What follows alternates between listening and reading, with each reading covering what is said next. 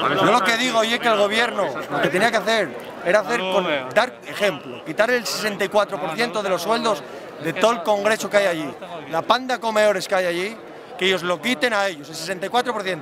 Y habrá dinero para sanidad, dinero para educación, dinero para los mineros, para el transporte y para todo. Que esos hijos de puta están subiéndose los sueldos, comiendo a, a papu lleno y los demás pasando fame. La gente obrera lo que tenía que hacer era tirarse todos a la calle y mandar a ese hijo de la gran puta al, al suelo, al cementerio, por hijo de puta, a él y al platanito. Eso.